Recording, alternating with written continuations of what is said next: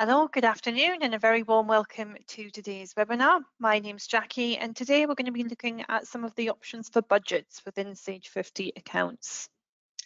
I'm joined by James, Michael and Tina today, so they're on hand for any questions. So if you do have any questions through today's session, please do make sure that you get them across to us as soon as possible. Don't feel you've got to wait to the end of the session and they'll be able to answer your questions for you today. Just before we begin though, just a little bit of housekeeping. So what you will notice is your microphone will be um, placed on mute. So you'll see that it's in red with the cross through that. That should not impact your ability to hear us today. It just means you won't be able to speak to the team directly. If you do have a question though, you can use the questions panel. You can open that by using the icon that looks like a speech bubble with the question mark in the middle and that will open up the questions panel there. So please do type in your questions there and get those across to the team. And finally, there is a handout for today's session. Um, the icon for that looks like a document with the folder corner. So please do download that through today's session. However, if you do forget or you can't locate it afterwards, it will be stored on Sage City shortly after today's session.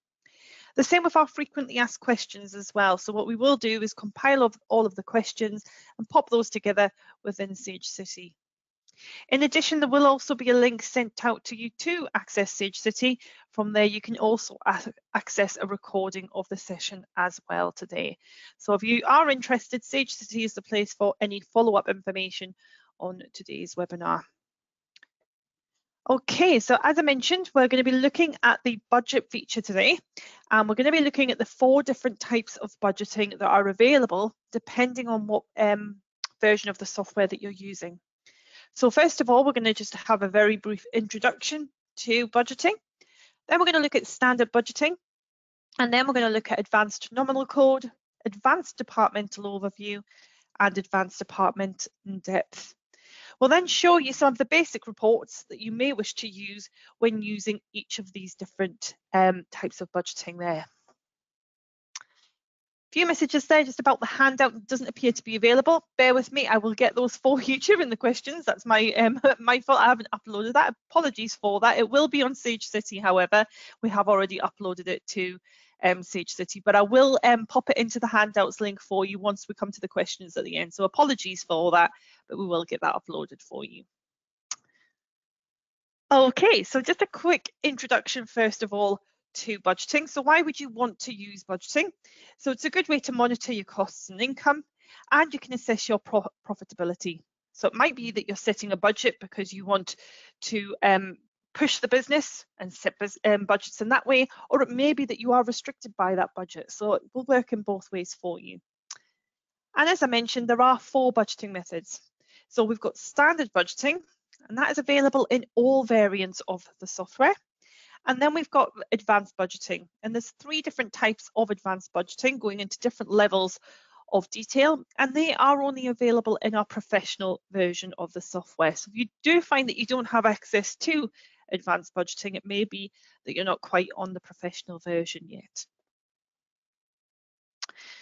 Okay, so switching your budget method. So you might not be aware, you might already have a budget method switched on or you might not have used it before, you want to know where you can switch it.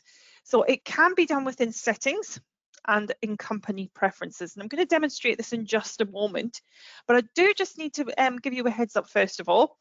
If you change um, your budgeting method, what that can do is it can cause any budget information that's in there at present to be removed. So be very careful if you are going to switch budget method, be aware of what it's going to do with the data that's in there at present. So I'm just going to um, pause the screen for one moment. We're just going to pop into my standard data set and I'll show you where you can switch it. And I'll also show you an article which is quite helpful for when you um, are looking from switching from one, one version of budgeting to another. It gives you a bit of information as to what will happen there.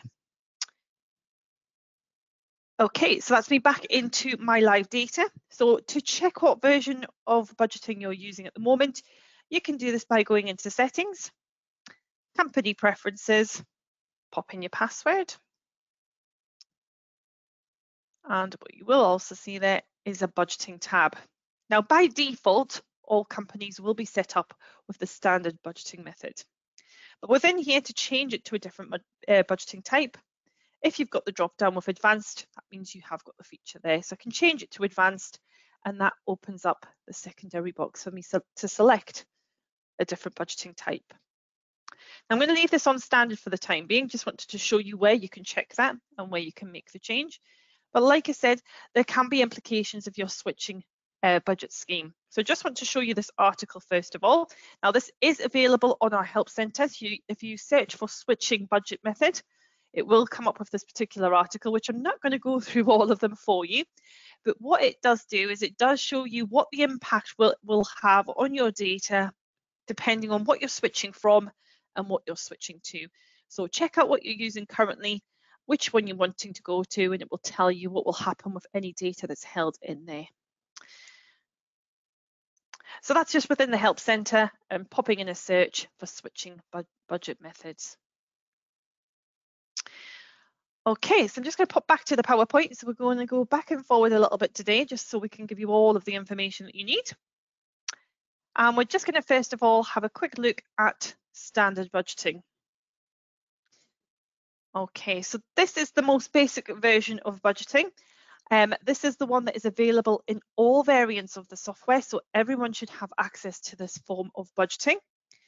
And this form of budgeting is based on the nominal record only. So when you log into a nominal record, for example, 4,000 in this example here, what you will see is a budgets column within the record there.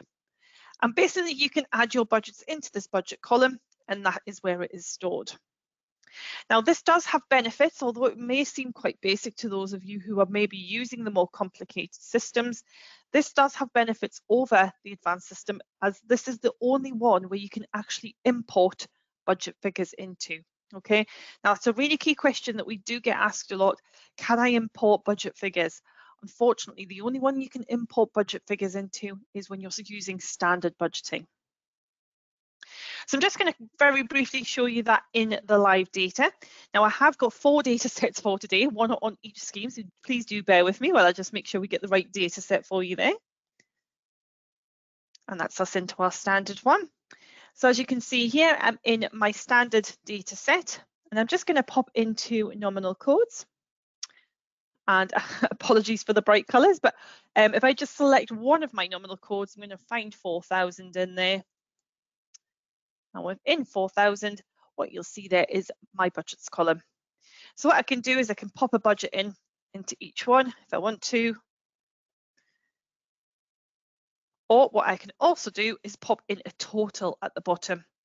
So if I do want the same um, amount sort of spread across the year uniformly, so if I, for example, say 12,000, what that will then do is ask me if I want to spread it evenly across the year. So that's great if I do want to do it evenly. However, if I am in a business where there might be peaks and troughs, it might be seasonal, you might want to do it on an individual month by month basis, in which case it is a manual way of um, going through each one and typing them in. but bear in mind again, these can be imported if need be.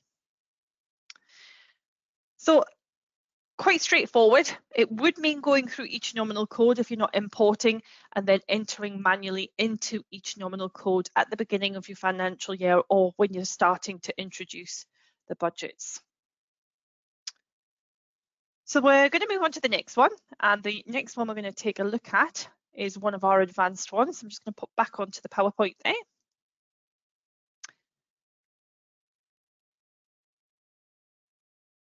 Waiting for that to reload.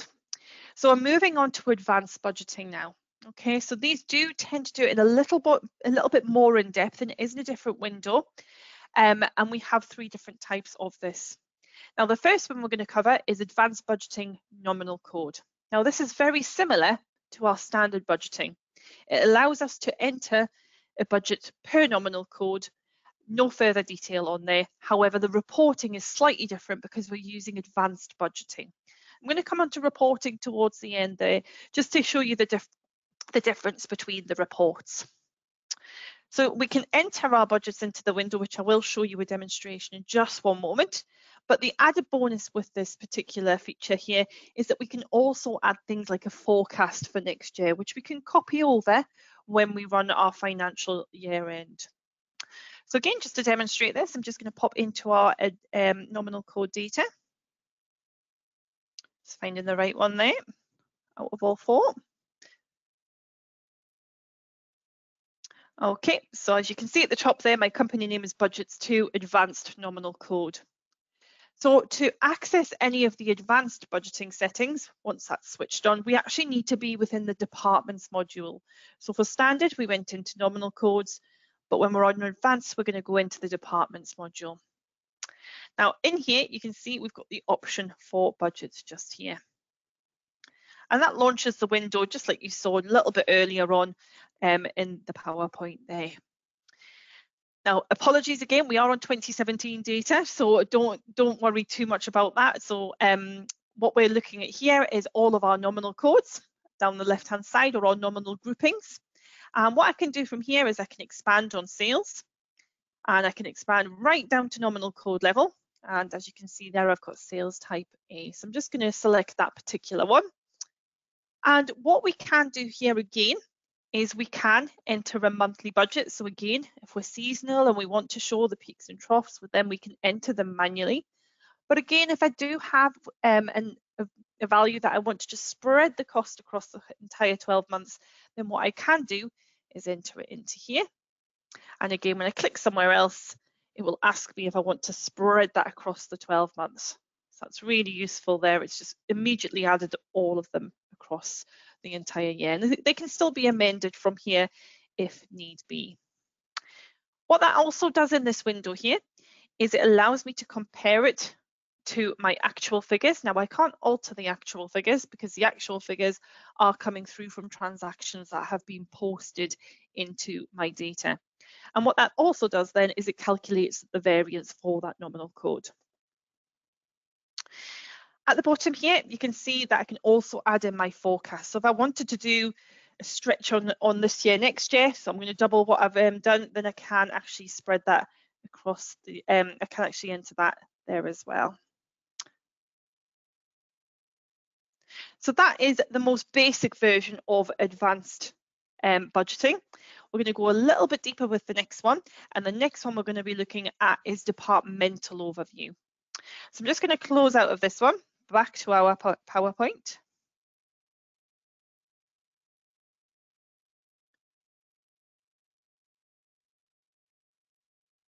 Wait for that to load there. And so this one is Advanced Budgeting Departmental Overview. So this does differ from the first two that I've just demonstrated there because we're not looking at nominal codes. This allows us just to apply a budget per department.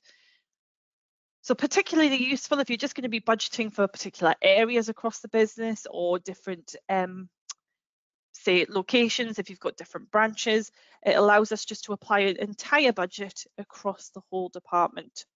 Now, as you can see there, the window's very similar to the one that you would have seen earlier for um, advanced nominal code. So we're just going to pop in there just to show you the differences there.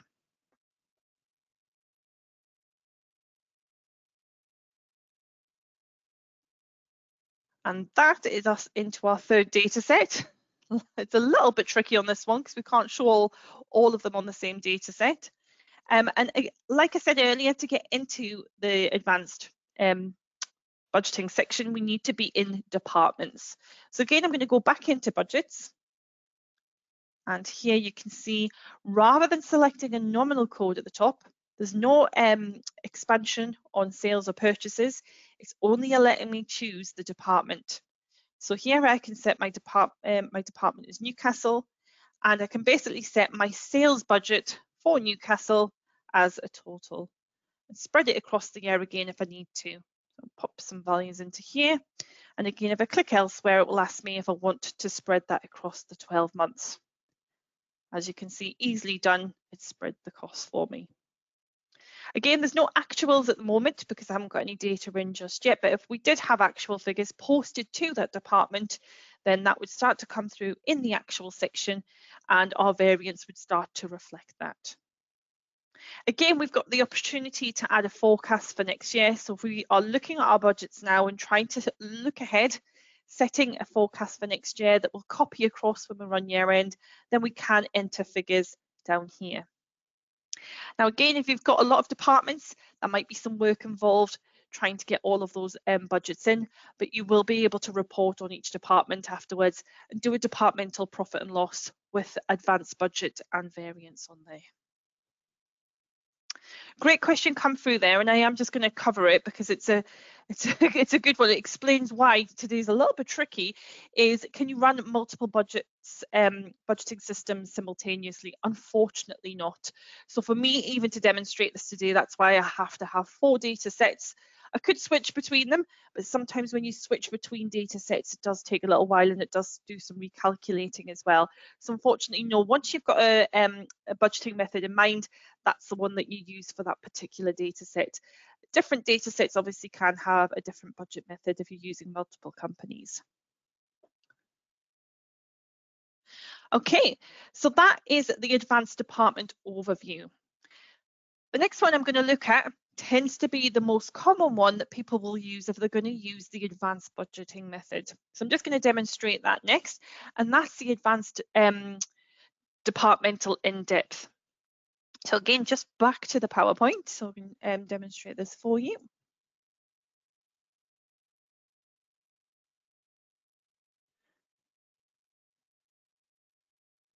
Okay, so that's us back to the PowerPoint there. So you will notice that regardless of what um, version you're using for budgeting, each of the windows is very similar.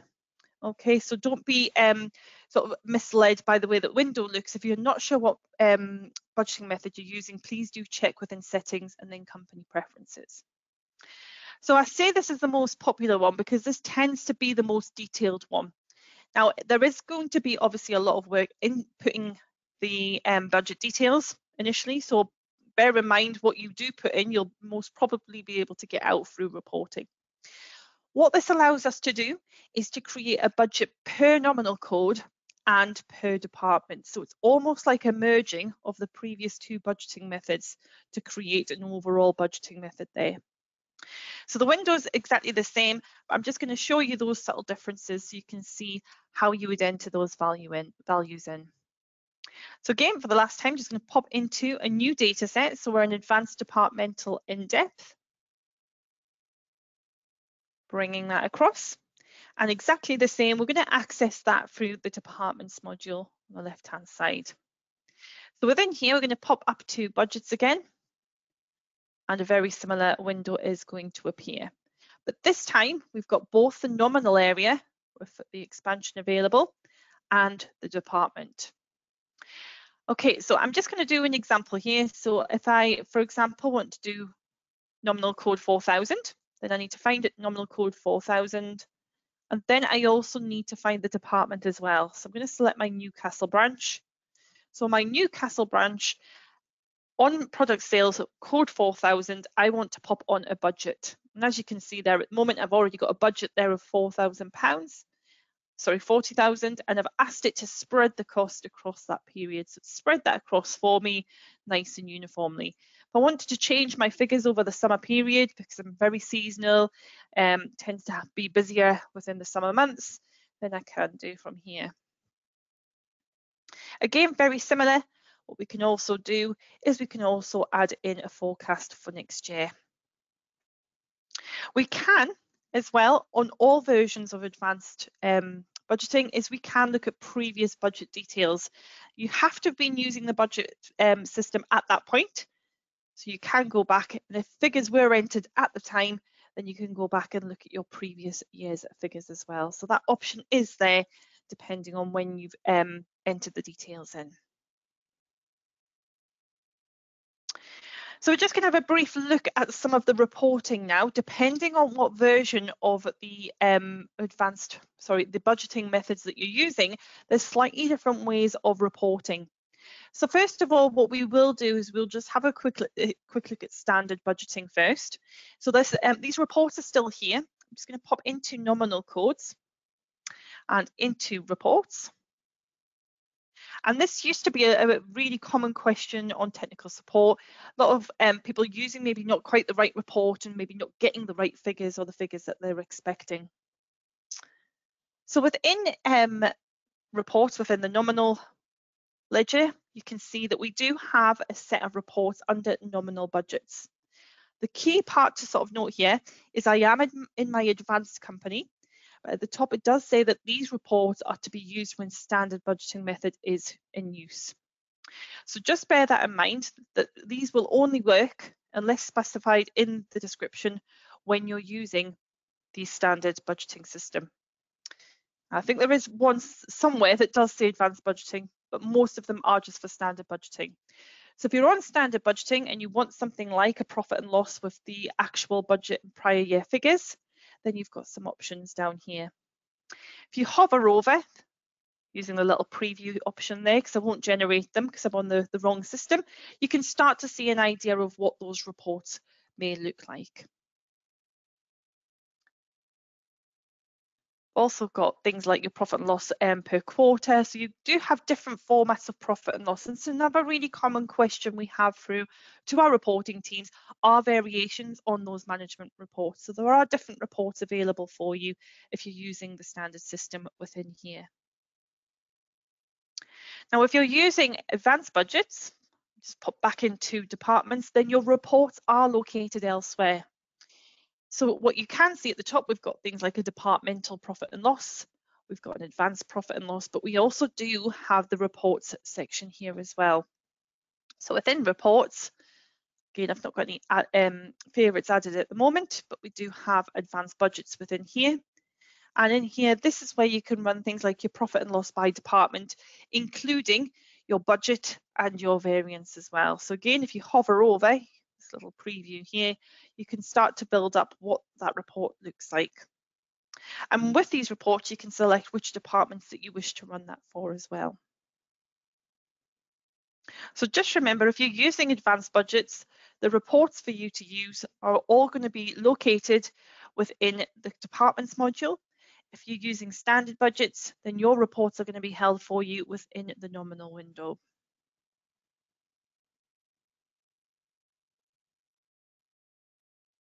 Okay, so we're just going to pop back to the PowerPoint.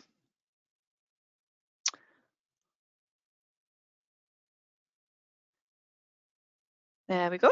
So just want to point out for you as well, you may um, be asking which report should I use. So in the handout, which I will be uploading in just a few moments time, there is a link there for our um, report finder article. This report finder helps you find which report that you need within your Sage 50 account software. So do check that one out. If you're not sure which report to use, you can use that to sort of help you guide you as to whether it's a standard report in the system whether or not it may be a report that comes as one of our report libraries. Uh, and it does give you options um, in terms of um, where to download those if they're using the report libraries. Okay, so running slightly ahead of schedule because it is a smaller topic um, for today, and we are going to be looking at making these um, slightly shorter going forward just to make sure that they're short and snappy and everyone can fit them into their day. But we're just going to very briefly talk about the upcoming webinars. So next week we are going to be looking at charities. So if you are a charity and you're using the feature and you want to get a little bit more out of the charities module, then next week we're running a session on Wednesday. And then we're also running a session on clearing records. So last week Michael did cover off um, the clear audit trail. We're going to be looking at doing a clearing record session, section, which um, session, which follows on nicely from running a clear audit trail. So if you caught us on that section, session and you want to get um, the next one in that series, then do join us on Tuesday. If you haven't joined that session, then we do have a recording of the Clear Audit Trail one available online, but you can still join us for the clearing records regardless of whether or not you joined us on that session. We are also doing some sessions on reporting through November and December. We'll be looking at things like the report library and some of the common queries we do have coming through to our report design team as well. So if you are looking for more information on reports, then please do check out our list um, of all of our upcoming webinars over the next few months um, and get yourself signed up there. Okay, so um, I'm just going to put myself on mute for a moment while I do upload the handout for you. Keep your questions coming across there. I think you kept the team pretty busy there, so they're um, just answering the questions there. And I will see if there's any I can answer across to all of you there. So I'll just pop on mute for a few moments while we get that uploaded. But if you do want to leave us in the meantime, thank you very much for joining us. We do hope to see you next week or in the upcoming weeks on our future webinars. So if you are leaving, take care and um, we'll see you again really soon. But we will pop back before we end the session today.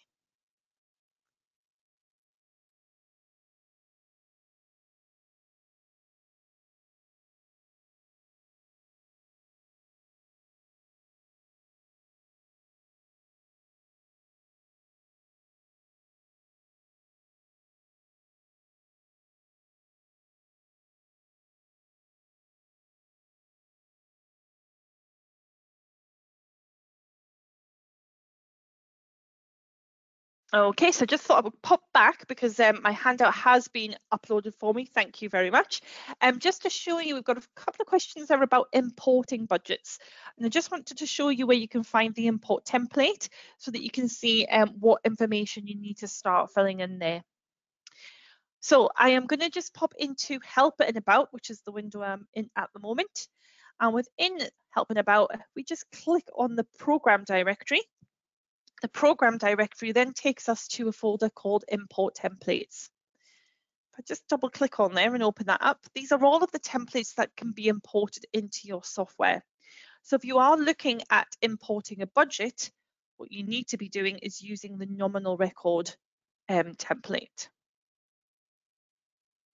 Just double click on that and open this one up. Just making sure that's opening for me. There we go. Okay, so this is the template, and as you can see there, you can put in the nominal reference. Reference that might be, say, for example, code 4000, the name of the record, and then you can pop in your monthly budgets as well.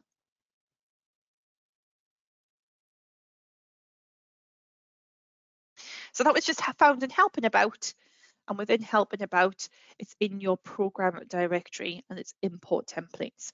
Remember that will only work if you're using standard budgeting. So unfortunately, you can't import if you're using advanced budgeting there.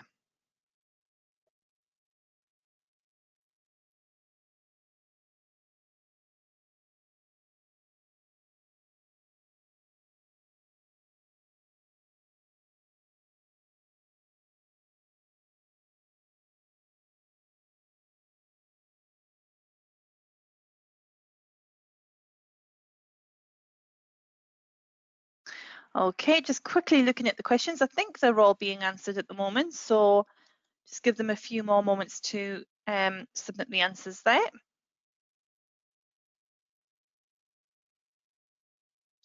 Great question has come through there again, is um, is there a plan to enable import of budgets in the future? And I'm assuming that's for advanced budgets. Now, it isn't something that I know is coming in the next version, but it is something I would suggest if you do want to start importing advanced budgets is that you get onto Sage City. So sagecity.com, it will ask you to create a login um, if you haven't already got one. If you have already got a login for things like your MySage account, if you log in, what it will allow you to do is to access the suggestions board. Not only can you submit suggestions, you can also vote on other people's suggestions. Now, it is something that we do take into consideration. So last year we launched version 28.1 and we had over 22 um, new features added as a suggestion from our customers. So if you do have any suggestions for improvements or things you'd like to see change in the software, then please do get onto Sage City. We really do take those um, into account. So yeah, quite a few questions on there around importing. So please do get onto Sage City, vote for each other's um, submissions. And like I said, that will be something that will be taken into consideration. On obviously, I can't give any guarantees on there, but the more requests we have, the further up the list these do go.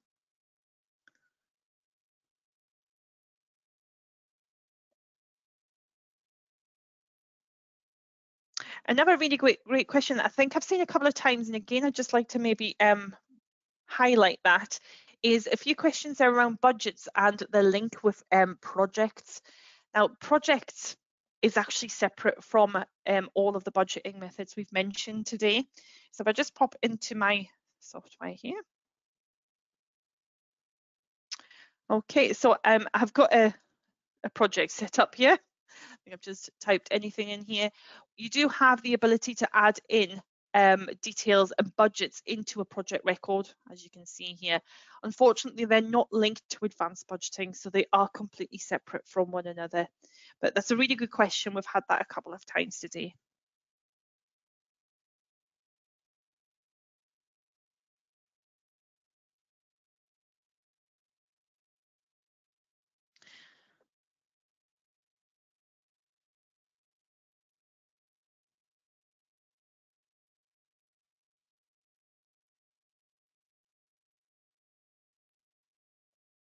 Another great suggestion um, while those questions are just being answered there is if you do want to give budgeting a go and see if it's going to work for you, ra rather than entering everything in, you could give it a go on a couple of nominal codes or a couple of departments.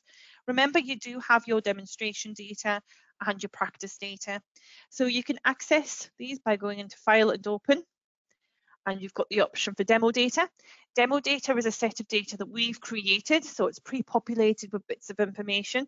You could by all means go and try it out in there, or you can try practice data. Practice data is a clean sheet, um, but just bear in mind, no matter what, if you enter data into demo data or practice data, unfortunately, you can't then move it into your live data, but it might give you a little idea if you just try it out across a couple of nominal codes, pop in some transactions without affecting your live data, and it'll allow you to run some of the reports and see how they work.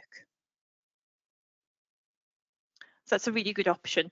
If you do want to log into the demo data, it will ask you for a login. The login name is manager. And if you just leave the password blank, that will allow you to log in there.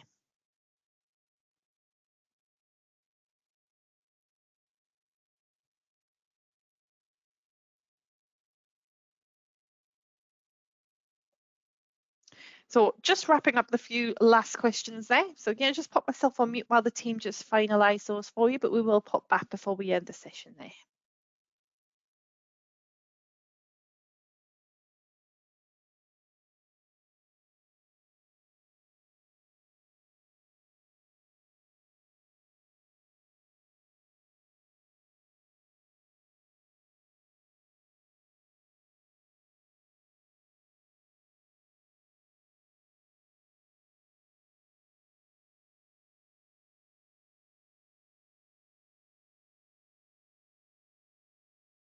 Okay, so that looks as though that's all the questions answered there. Um, like we said earlier, we hope to see you on another session really soon. When you leave today, you will be prompted for some feedback. If you could send your feedback across to us, uh, as well as any suggestions for future webinars, that is greatly appreciated today.